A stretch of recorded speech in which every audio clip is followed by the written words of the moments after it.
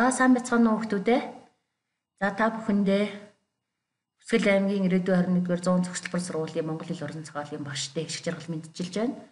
За өнөөдөр та бүхэндээ өгүүлбэрийн утгыг олгох, олох, за тэгээ хилцээний утгыг олох даалгавар дээр хэрхэн ажиллах вэ гэсэн зөвлөгөөг өгөх гэж байна. Мөн та бүхэндээ эсэлт ерөнхий шалгалтын 2017, 18, 19 оны хилцтэй холбоотой даалгавруудыг ажиллах болно.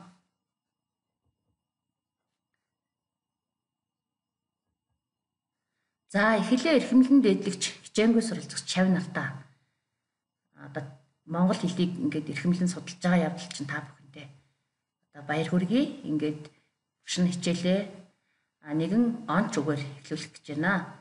Хилээ хайрлна гэдэг бол өөрийгөө хайрлах, үндэснийхээ сэтгэхүйг хайрлах гэсэн үг ээ гэж нэг эрдэмтэд хэлсэн. За энэ дээр тэр үндэснийхээ сэтгэхүйг хайрлна гэдэг маань а одоо бидний энэ үгний цаана бол Монгол ах уй, ёс заншил, ах уй амьдрал маань бүгд байгаа.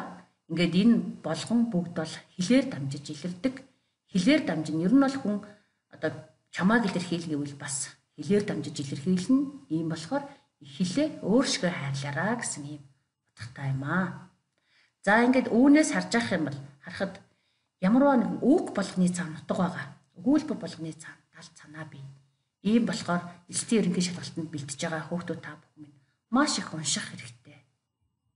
Бас уншснаа бусад ном сурагч дээр юу гэж бичснийг нь харьцуулан ахин ахин хайж уншиж тэр үгийн утгад дурлаж тэр эхийн утгад дурлах хэрэгтэй. За ингээд дараагаар нь уншсан зүйлээ сайн ухаарч тэгвэл ухаарч уншина гэдэг бол маш их тийм сэтгэлгээний цар хүрээг хэлж өгч идэг. За эхлээд багш та бүхэндээ хэлний нэгжүүдийн талаар тайлбарлаж өгнө. За хэлний нэгжүүд гэдэг ингээд орж ирдэг. Энэ ер нь чухам юу гэсэн үг юм бэ гэхээр. За хэл бол зүгээр ингээд их шууд цогцлбороос бүтнэ гэж байхгүй. Бүтээвэр, үг, өгүүлбэр, цогцлбор нийлжээч энэ бол хэлний нэгжүүд болно. За бүтээвэр бол юм үзэгдэл юунаас хэрхэн бүтснийг утгачлан тусгаж өгдөг. Харин үг бол салангад юм үзэгдлийг нэрлэж тэдгээрийн гол утгыг илэрхийлж нэрлэж өгдөг. За өгүүлбэр бол үйл явдлыг тусгаж түүний тухай нэг санаа гэлтгдэг.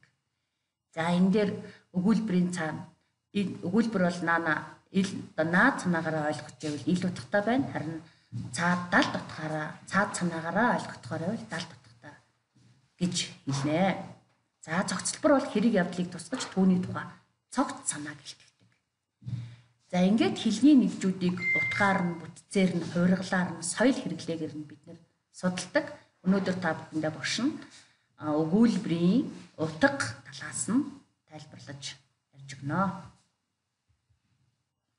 За цамураа муу хүн шивнээч, сайн хүн санаач гэсэн энэ өгүүлбэр дээр ажиллаж үзье. За энэ бүтээврийн төвшөнд бол за муу сайн хүн гэд ингээд язгуур бүтээврээр агараа үг байна. За сан аач. За ингээд санаач шив шивн ээчээ гэсэн дагвар бүтээрөөс бүтсэн язгуур дагвар бүтээрөөс үтсэн ийм үгээс бүтсэн байна. За үгийн төвшөнд үзэх юм бол энэ үг маань 6 үгээс бүтсэн. За өгүүлбэрийн төвшөнд эсрэг утгатай хоёр өгүүлбэрээс бүтсэн ийм өгүүлбэр байна. За энэ өгүүл энэ зохицлбарын цаад санаа нь бол альва үйлд хүний сэрэг сэтгэн одоо чухал болохоос биш харин өглөх, ховлох тэр нь одоо тэр утх нь бол тийм чухал бишээ гэсэн ийм хэрэг явдлыг илэрхийлсэн цогцлбор.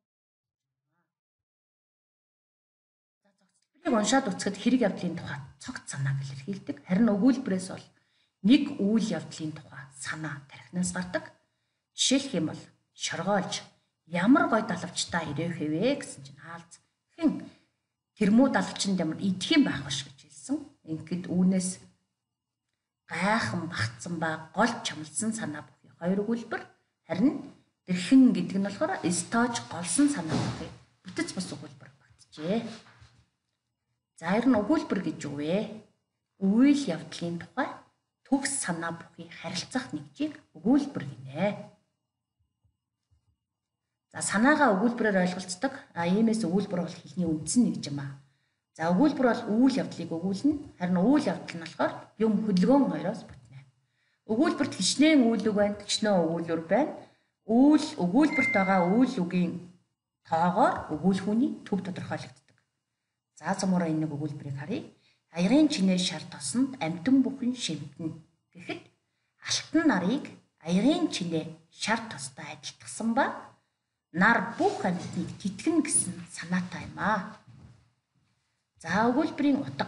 Өгүүлбэр нь бол ил утгатай буюу наад үндсэн утгаараа. А харин далд утгатай байдаг энэ бол цаад санаа. За ихэвчлэн хэлц нэгж сонин содон үг хэллэг. Энэ бол өгүүлбэрийн далд санаагаараа илэрдэг. За зөмөрөө жишээлх юм бол 2019 оны эсдийн ерөнхий шалгалтын Э хувилбарт байгаа ээдэрсэн утас гэсэн дүрслийн далд утгад тохирох нь альвэ гэсэн юм даалгаврыг харъя.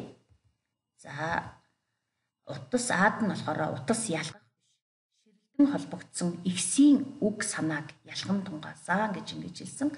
За одоо ингээд даалгавраа ингээд хийх хийхээ өмнө хувилбаруудтайгаа танилцахынхаа өмнө одоо үг болгоныхоо утгыг маш сайн бодох хэрэгтэй. Бас өгсөн даалгаврынхаа зааврыг маш сайн анхааран унших хэрэгтэй. Энэ дээр бол дүрслэлийн даалт утгад тохирох нь альвэ гэж өгсөн байгаа.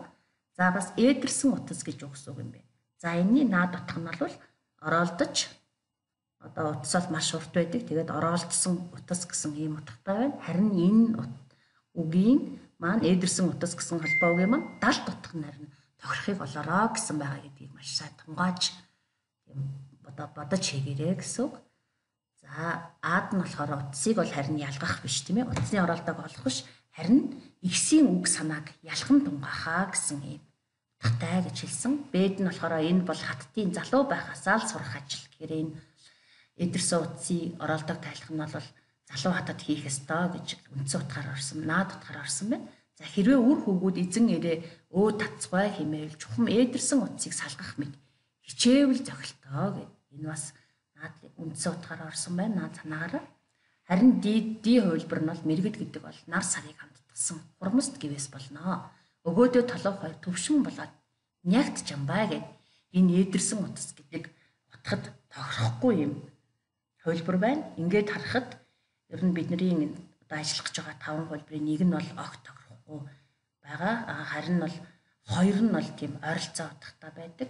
А нэг нь бол нэг хувилбар нь болохоор яг үндсэн утгаараа байдаг гэдгийг сайн бодож ажиллаж байгаарай.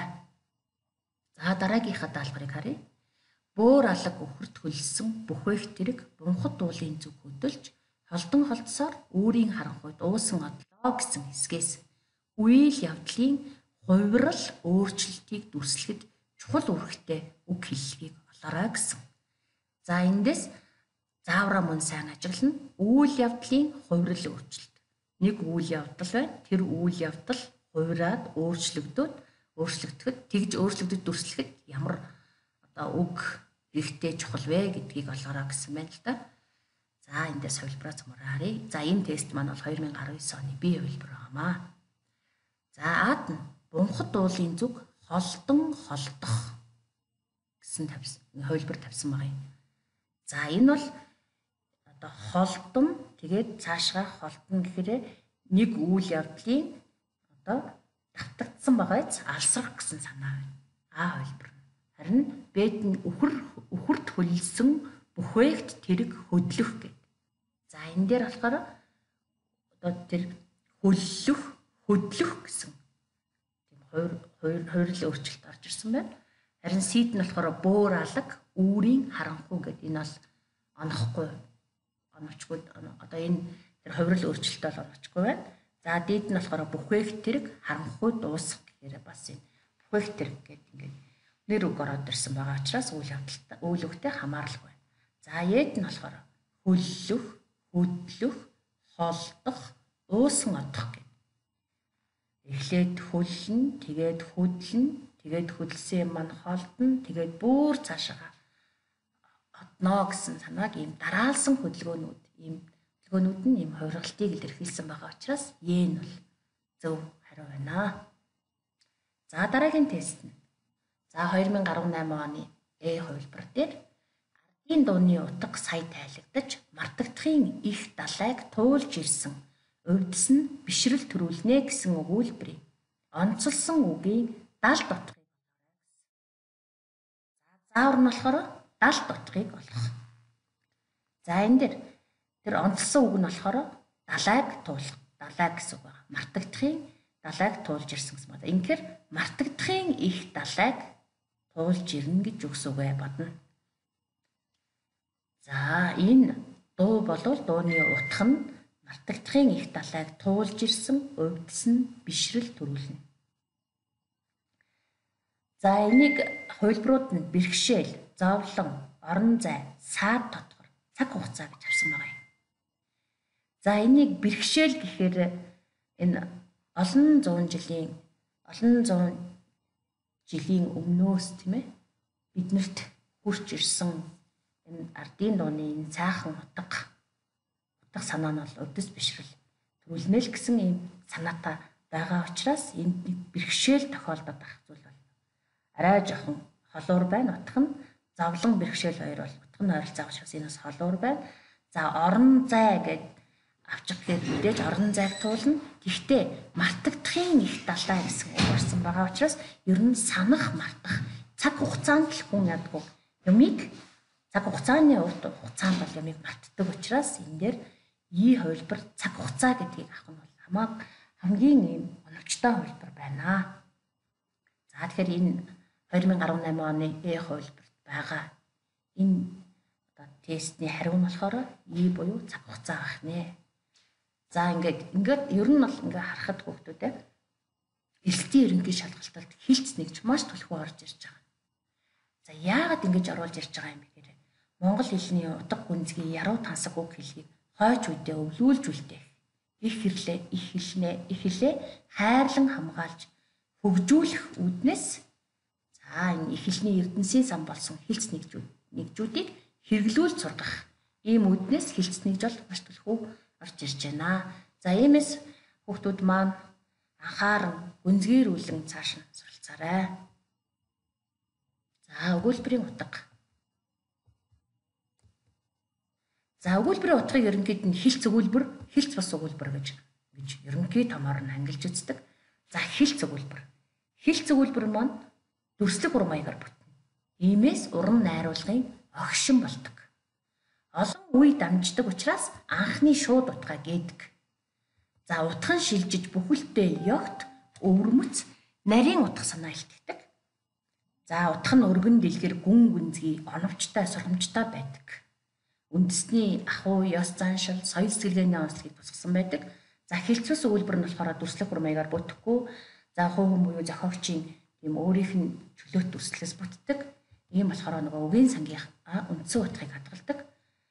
За хэлц нэгж. За монгол хэл бол олон мянган жил хөгжиж ирэхдээ тухайн ард түмний амьдрал ахуй, зан заншил, соёл сэтгэн өвөрм соцгод тусгасан тийм доктортой хэллэгээр баян байдаг. Ийм доктортой хэлхийг хэлц нэгж гэж хэлдэг. Хэлц гэж хэлдэг. За хэлц нэгж гэж бас зарим ном дээр байгаа. Энэ болохоор хэлц хэлц цогцлбор, хэлц өгүүлбэр, хэлц үг, хэлц бүтээвэргээд нийлүүлээд хэлц нэгж гэж нэрлэж байгаа. За эндээс цөмөрөө хэлц өгүүлбэрийг харъя. Хэлц өгүүлбэр нь цөөн үг нөхцлөөс бүтэх боловч утга санаа нь нэг ба хид хідэн цогцлборын санаатаа тэнцдэг. За энэ хэлц нэгж бол хэлний дархлаа болдог.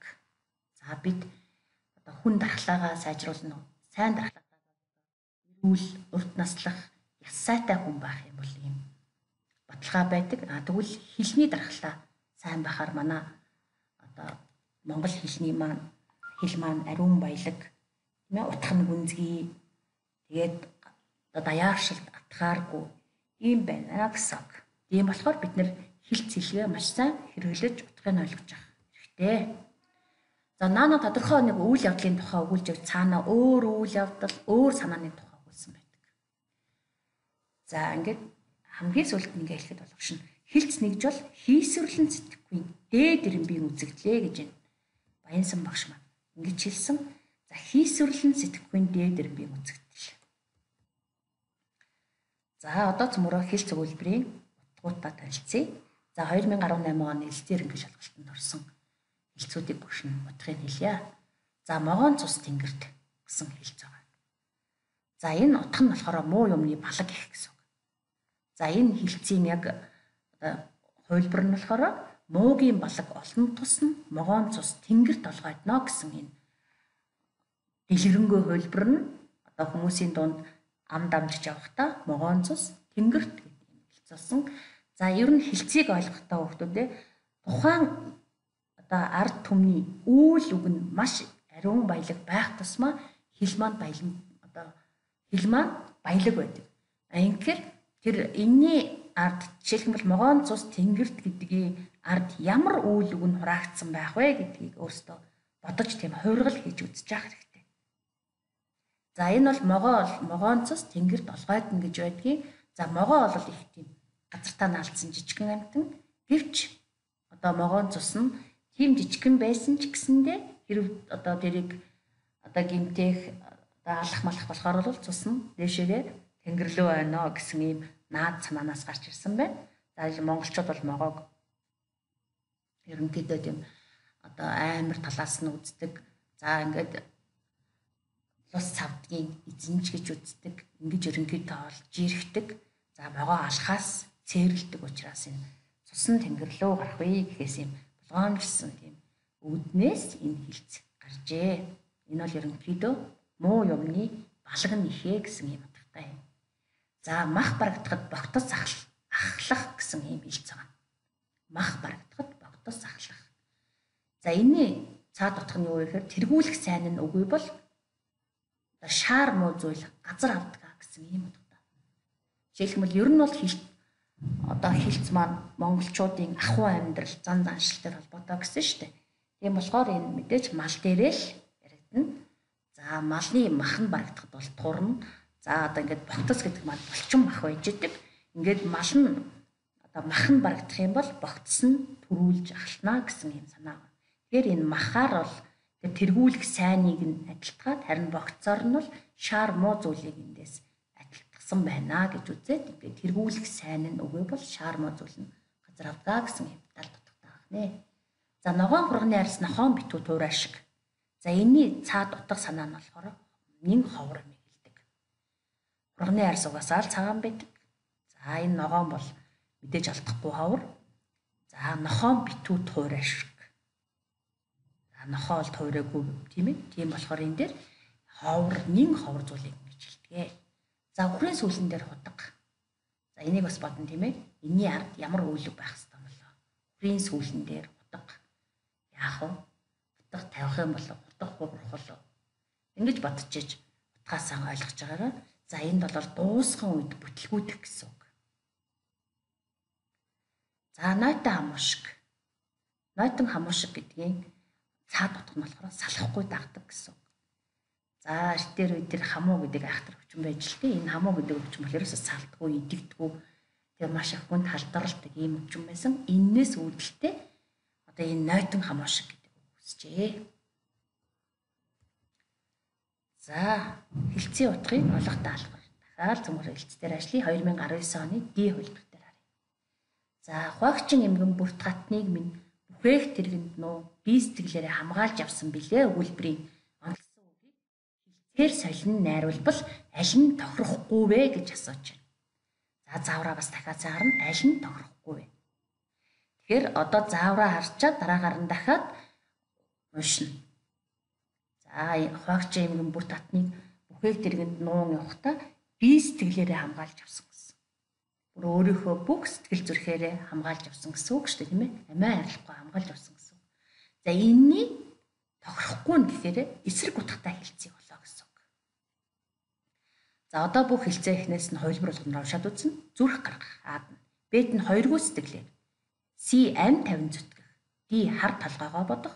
И амиа хайрлахгүй. За ингээд харахад А хувилбар нь бол зүрх гаргах зорих гар зориг гаргах гэсэн. Хоёргүй сэтгэлээр гэдэг маань өөр одоо хоёргүй сэтгэлээр хамгаалж явсан гэх юм бол бас чин сэтгэлээсээ гэсэн утгатай. За ам 50 зүтгэх гэдэг маань бас одоо нэлээд одоо тийм өөрийгөө хайрлахгүй зүтгэх гэсэн юм утгатай байх нь инхээр хоёргүй сэтгэлээр ам 50 зүтгэх гэдэг маань энэ сэтгэлээрээ бие сэтгэлээрээ хамгаалж явсан гэдэгт ойролцоо утгатай амиа хайрлахгүй гэдэг нь бас ойролцоо утгатай байна. Харин ди буюу хар талгайгаа бодох. За энэ хар талгайгаа бодох нь зөвхөн өөрийгөө бодох гэсэн үг. Зөвхөн өөрийгөө л талгайг бодоод явах гэсэн. Тэгэхээр энэний эсрэг санаа нь бол ди байх нэ. Тэр ди хар талгайгаа бодох гэдэг байна. За дараагийн тестэн дээр харъя. Одоо 2019 оны Э хувилбар дээр байгаа. Өөр лүгээ ширтэн буй хадам ихийн харцыг мэдэрч түгшин имэж суужээ. Түгшин имэж суужээ. Гэсэн өгүүлбэрийн онцлсон үгийг аль хэлцээр солин найруулбал тохирох вэ гэж байгаа. Солин найруулбал тохирох вэ гэсэн шүү. За За одоо ингэж харчаад дахиад түгшин одоо өгүүдэ бодно тийм ээ. Өөр лүгээр шивтэж байгаа. За хадам ээж маань хадам нэг их тийм ээ. Хадам ихийн харцыг мэдрээд тэгээд хадам их одоо хатантаа хамт сууж байгаа. Тэгээд сууж байна. Тэгээд тэгэхэд бол ээж нь уртаас нь одоо нэг тийм харцаар одоо харж байгааг л одоо өөрөө мэдрээд тэгээд тэрнээс жоохон төгсөж чинь гэсэн санаа байна шүү дээ. Утга маань өгүүлбэрийн утга нь. За энэ дээр А айхаа арсанд бох, Б зүрх алдах, С зүрх амаар гарах, Д зүрх тогтлох, И зүрх гаргах гэсэн юм. Хэлц өгүүдийг тавьж өгсөн аль нь тохирох вэ гэдгийг цөмөр харна. Заад нь айхаа арсанд боох гэж байна. Энэ бол айхгүй болох гэсэн үг. За би зүрх алдах гэж байна. За одоо энэ дээр ингээд энийг ойлгохын тулд цөмөрөө энэ өгүүлбэрээ ойлгохын тулд энэ дээр үйл үг дээрээ л бас ажиллана. Түгшин эмээх гэдэг үгийг маш сайн ойлгоно. Түгшин эмээ.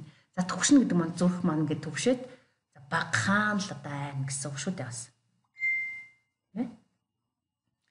За энэ дээр тэр би зүрх алдах, си зүрх амаар гарах, бүр сандрах, зүрх амаар гарах гэдэг бүр амар их нилээ их айх гэсэн үг шүү дээ, тэ? Зүрх тогтлох гэдэг нь баярлах, сандрах гэсэн үг. За зүрх гаргах гэдэг нь зориглох гэсэн үг. За ингээд тэр зүрх алдах гэдэг хэлцэн нь бол тохирох нэ. Би хөлбөр. За одоо тэгвэл хилцээ утгыг хэрхэн ойлгох вэ? За хилцээ. Хилцэд үүсгэл санаа өрслөх урмаяг гэж заал байна. За энэ хилцийг ойлгохын тулд бид нэр одоо ер нь бол хилц маань манай ахуй амьдрал зан заншил ёстой ёс заншилтай маань холбоотой учраас бид нар мал аж ахуй ахуй дээр ахуй гэдэг ахугаас л үүссэн байгаа. Тийм болохоор үүсгэл санаагаа маш буюу наад санаагаа маш сайн бодно. Наад санаа гэдэг маань энэ хилцээ хилцэд юу өгүүлсэн юм бэ гэдгийг аягүй сан бодно. Ингээд тэр наад санаагаа дүрслэх уран маяг, уран дүрслэлтэйгээ холбож жагаад гол утга цаад санаагаа гаргаж ирнэ. За цамуурын дээр тайл харъя утгыг ойлгох. Айхаа арсанд бох гэсэн хэлцээ. За энэ айхаа арсанд бох. За арс бол малын маань арс, малын арс байгаа. За ингээд энэ арс бол малын арс мал маш зузаан тийм бат бөх байдаг. Энэ бол монголчууд энэ арсаар нь хувцас идэл хэрэглэл хийдэг. За ингээд энэ малын бол маш зузаан бат бөх гэсэн санаатай. За энийг одоо яаж холбох вэ гэхээр энэ дүрслэх ур маягаас л харна. За жишээлх юм бол нуухыг арсанд боох гэсэн байгаа. Тэгэхээр тэр айх юмыг арсанд хийгээд боох гэсэн үг шүү дээ, тийм ээ. А тэгвэл нуухыг боох үлтэй адилтгаад арсаар бие буюу сэтгэлийг орлуулан төлөөлүүлсэн. Тэгэхээр тэр айх гэсэн зүйлээ сэтгэлдээ нуухал гэсэн санаа байгаа дээ шүү дээ, тийм ээ. Арсанд хийгээд нуухал гэсэн санаа шүү дээ. Энэ бол адилтгсан төлөөллийн ур маягаар бүтэж байгаа. Ингээд гол санаа нь болохоор айхгүй байх гэсэн санаатай.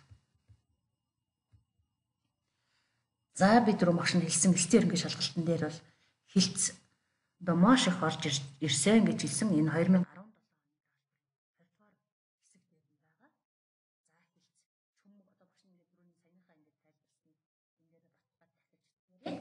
За чүмэг хатаж шүрмэс сунах гэсэн юм хэлц байгаа. Хэлц өгүүлбэр байгаа. За энэний үүсгэл санаа нь юу вэ гэж бодно. За чүмэг хатан шүрмэс. Туранхай мал бор чүмэгтэй байдаг. За ер нь ингээл малын махыг ингээд чамнаад үзэж чүнгийн ташаад үзэхэд бол туранхай тийм мал бол бор чүмэгтэй харин тарган мал бол маш тийм одоо амттай тийм тоссон чүмэгтэй байдаг. За эндээс олвол энэ бол туранхай гэсэн юм. За шүрмэс сунна гэдэг нь бол ерөнхийдөө их явах, эвгүй гიშгснээс болж ингэж шүрмэс сунна сундаг. За бас эвгүй гიშ гэж одоо өвдөснөөс болж ингэж одоо шүрмэсэн сум ийм эндээс бол бид нэр ядрах, зүдрэх, өвдөх гэсэн санааг голсныг бол одоо санааг авч олно. Ингээд эндээс туранхай тэгээ туйлын ядар зүдрэх гэсэн ийм гол санаа гарч ирж байна. За энэ бол дүрслэг ургамд тойруулах явц та. За дараагийнх нь элчин дээвэр ургуулах. За бодно. Илжиг бол эвэргүй харин урт чигтэй. Тэгэхээр илжигэнд угаасаа эвэргүй юм болохгүй учраас эвэр урахгүй шүү дээ. Тэгэхээр боломжгүй дэмий зөөл үлдэх гэсэн санаатай. За энэ дэр нэг хараа эвэр ургуулах гэж байгаа. Ургах гээгүү шүү. А энэ ургуулах гэдэг дээр бусдаар үлдвэл хэвээ дагавар явж байгаа юм. А ингээд харахаар тэг боломжгүй дэмий зөөлийг нэг хүн үйлдэх гэсэн утга байгаа шүү. Эндээс ингээд хараараа одоо ийм одоо дагварынхаа утгыг хүртэл маш сайн бодох хэрэгтэй.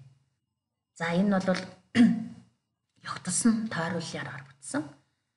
За эвэр туулаа үст мэлхийн зүрх энэ бас адилхан. Туулаад эвэр бүгд мэлхийн усанд амьдардаг учраас тэгээд ингээд байж болшгүй юм а гэсэн утгатай тойруулмаа. За 2017 оны нэг хувилбарыг харъя цөмөрөө өвгөн мал малын захтаа явж насыг илээсэн боловч тэр дундаас тэмээ гэдэг амьтныг шүтэж өдий хүрсэн бөлгөө гэсэн өгүүлбэрийг онцлсон хэлцийн утгыг олоорой гэсэн даалгавар байна. За насыг илээсэн мал малын захтаа явж насыг илээн. Тэ мэ? За энэ одоо насаараа ингээд малыг малсан боловч гэсэн үг тийм үү? Тэмээ гэдэг амьтныг шүтсэн гэсэн утга байж.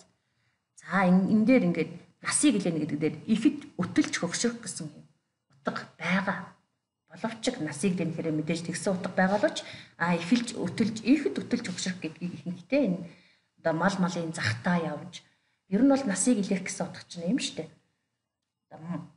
ажил хийж насыг илээн эсвэл тэр одоо тэр нутагтаа амьдарч насыг илээн гэж ингэж хэлдэг учраас орон зай цаг хугацааны одоо уртад туулах гэсэн юм байгаа шүү энэ дэр. За ийм болохоор тэр бие буюу амьдралаа өнгөрүүлэх гэсэн хэлсэн утга нь маш оновчтой юм. За ингээд бүгдийг харна шүү дээ тийм ээ. Ихэд өтөлч хөвшрөх гэхээр хөвшрөх гэсэн утга байна. Гэвч нарай онохгүй байна. Ихэд гарших гэвэл одоо доотлынх нь малаа малдаг дээр малсараа тимээ мал одоо тимээг шүтсэн гэдэг дээр гарших гэдэг утга. Дараагийнх нь өгүүлбэр дээр энэ утга таарч байна. Амьдралаа өрөх гэхээр энэ бол шүтэх биш одоо бүр илүү юу энэ дээр ч юу утга гараад байна шүү тийм ээ. Муу тийм доромж утга гарч ирэх гэдэг шүү дээ үеэ өнгөрөх гэдэг дээр бас тэг гэдэг. Тэгэхээр амьдралаа өнгөрүүлэх гэдэг нь бол хамгийн оновчтой утга. Дараагийнх нь нагна гэсэн нагна гэсэн харанхуй бодолд дотроо зурулж. Эхнэрээ хардаагүй ч нагнаа тордох бодол төрч мөнөөх дээлийг буцааж баадагна. Байранд нь орхилоо гэсэн өгүүлбэрийн онцлсон хэлцгийн утгыг олоорой гэсэн. Дотроо зурлах гэдэг нь хэлцэн онцлсон утгыг нь олоорой гэсэн. За энэ дээр аад нь дотор арцсхийг би дотор хүүрт орхих, си дотор үүрхэх, и дотрыг нь өвдгөх гэсэн юм таван хэлбэр тавьж өгсөн. Одоо цөмөрөө түрүүнийхээгээр дотроо зургуулах гэдгийг тэр үйл үгийг нь бодно. Одоо нөгөө нэг үүсгэл санааг нь олох гэдэг шүү дээ тийм ээ. Ер нь ямарваа нэг юм ингээд зурах. Тэг бодоо зурхаар ингээд чахрах тийм чимээ гарахаар эвгүй байдаг шүү тийм юм ингээд хооронд нь ямарваа нэг юм үрхэд нэг бие эвгүй ороод ингээд эвгүй болдог штеп. Тэр санаагаар хэлсэн. Дотроо зурлах гэдэг. Тэгэхээр мэдээж нэг тийм энэ дотроо зуруулна гэдэг дээр тийм чимээ ингээд ингээ амар ингээд нэг нилээн ингээд хүний биед ингээд чанга одоо хурж ингээд хүрхэд тийм ээ.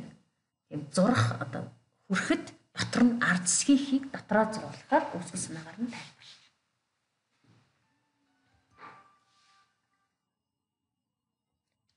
За дараагийнх нь 2017 оны хувилбарыг харъя. За ингээд цэгийн оронд одоо энэ дээр ингээд хилцс тавихад тийм ээ энэ бол гихчээр гэсэн холбоосоор холбогдсон байгаа. За энэ хилцийг бол дараагийнхаа өгүүлбэртэй холбоход хамгийн тохиромжтой энэ холбоос бол гихчээр гэсэн холбоос байдаг. За ингээд эцэст нь чи намайг буруутгах гэж гэсэн өгүүлбэр байгаа юм. Цэг цэг цэгээд эцэст нь чи намайг буруутгах гэж. За энэ дээр ямар буруутгах гэж гэдгийг бас л үйл үгээ харна. Намайг одоо буруутгаад байна тийм үү? Буруутгаад байна. За энэ дээр а ганган хүн сэрүүн жороомор хавар гэсэн үг байна. За энэ болохоор энэ хэлцэл сэрүүний үед гангархан нэмгэн хувцсан хүнийг шүүмжилсэн юм утгатай байна. За биед нь болохоор олноороо зөвлөвөл осол баг гэхээр энэ буруутгахтай холбоогүй байна. Садантай хүн салаатаа мод гэхээр холбоогүй байна. За нохоо амртаа хүрэхэд тусч. За энэ бол аминдаа тулахаар аргыг олох гэсэн утгатай хэлцээ. За ийд нь болохоор ишиг эврээ ургахаар ихийгэ. Эцэг ишиг эврээ ургахаар ихийгэ яг мөргөн. За ээж нь маш их тийм одоо хайрлаж өсгсөн байхад ээжийнхээ ачийг одоо яах нь мөргөн гэдэг чинь ихийнхээ ачийг хариулахгүй байна гэсэн үг шүү. Тийм ямар нэг юмний ачийг өмөртөж тэрслэг гэсэн юм гол санаатай байдаг. За тэгэхээр энэ дээр таарж байгаа нь ишиг эврээ ургахаар ихийгэ Игчээр эцэст нь чи намайг буруутгах гэжээ гэдэг нь утга нь тарж байна. За дараагийнх нь. За 2017 оны С хөлбөр дээр байгаа. Бас цэгийн орон одоо цэгийн орон тохирох хэлцийг нь олох юм. Даалгавар бай. Яаруу явна билээ дээ гэж. За тэгэхээр энэ дээр яаруу явна билээ дээ гэхээр тэр яарч яваагийн нэг харсан хүн хэлээд шүү дээ тийм ээ энэ дээр. За тэгвэл аад нь айсан хүн аргал хөдлөн гэж биед нь салхинд хөөгцөн хамхуул шиг унсан малгай авах завгүй өөж идэхтэй уургаймар айдгаа авдартай хийх гэсэн ийм хувилбаруудыг дэвшүүлсэн байна.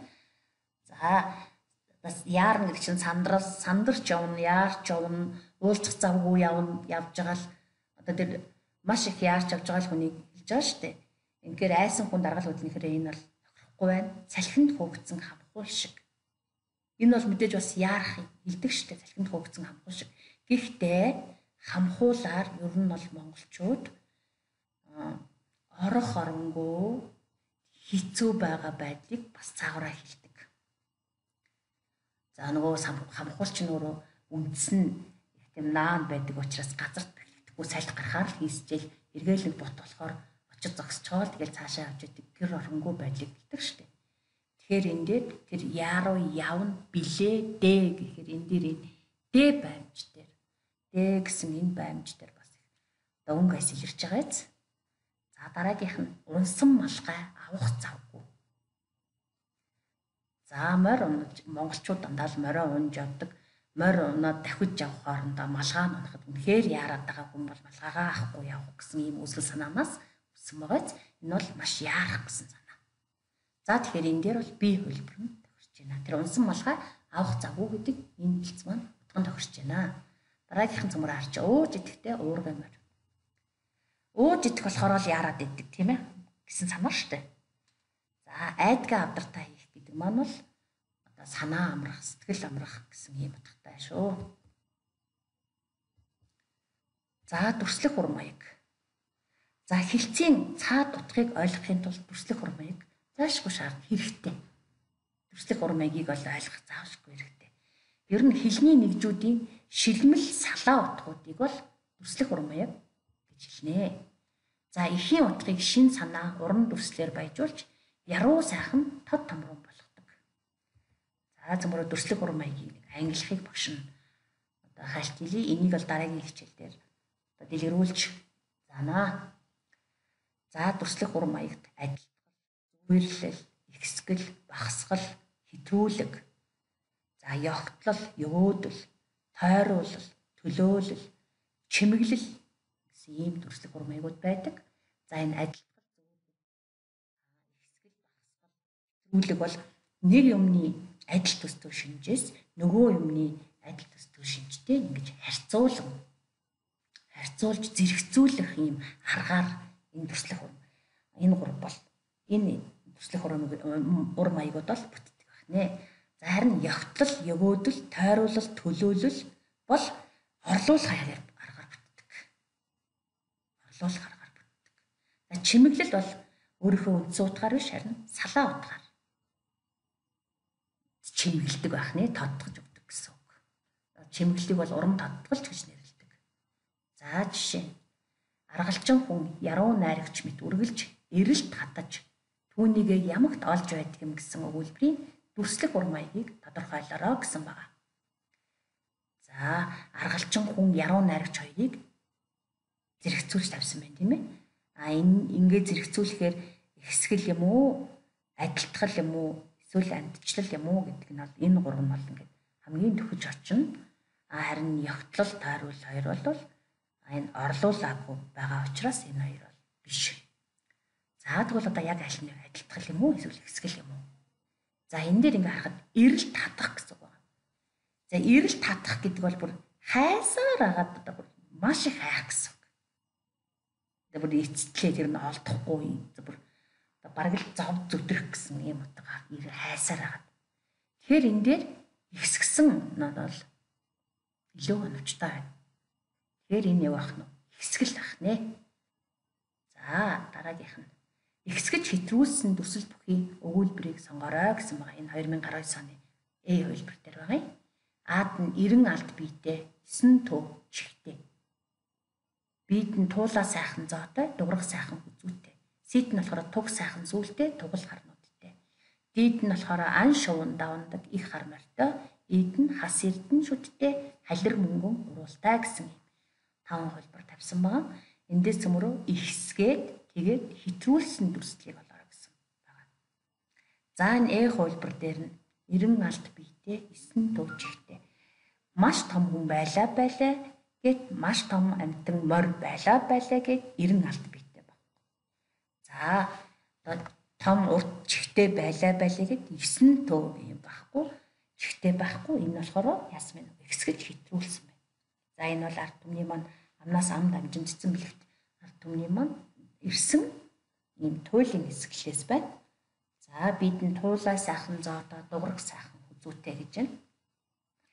За нэг туулааны тийм ээ нэг одоо амьтны зоог туулааны зоотоо яасан байна уу? Зэрэгцүүлж харьцуулсан байгаа биз? За ийм болохоор энэ адилтгал болж байна. За туг сайхан сүүлтэй. Тэгвэл морины сүүлийг одоо тэр тугны намраата адилтгсан байх нь За ид нарын хас эрдний шүдтэй халир мөнгөн уруултаа гэж байгаа. За энэ дээр одоо нөгөө нэг шүдийг хас эрдэнтэй. А харин одоо халир одоо уруулыг одоо мөнгийг тийм ээ халиртаа ингээд ингээ харахаар ингээ адилтгалаа гэдээ ингээд харах гэхээр энэ хоёр нэг адилхан шинж байхгүй байхгүй адил шинж байхгүй харин энийг бол урнаар ясан татгаж өгсөн. Салаа утгаар нь татгаж өгсөн учраас энэ бол чимэглэл болж байгаа. За ингээд хүүхдүүд та бүхэндээ анхааран сонссонд баярлалаа. Өнөөдрийн хичээл үгээр өндөрлөө.